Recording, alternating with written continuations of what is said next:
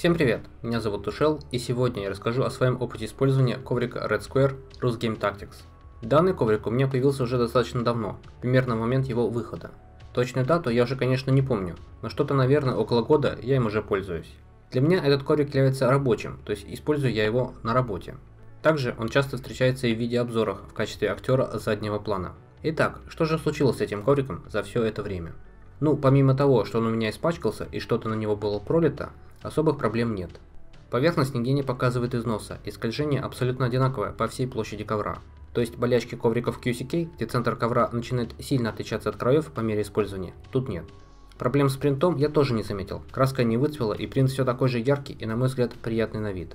Наверное, самый сильный износ можно заметить на оверлоке. То тут, то там появился пушок из нити и прострочки. Ничего критичного, но коврик выглядит уже не как новый.